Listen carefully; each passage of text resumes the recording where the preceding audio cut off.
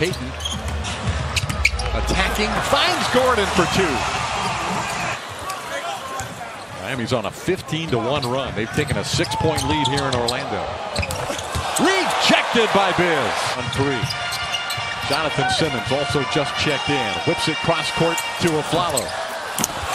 Stuffed in by Gordon.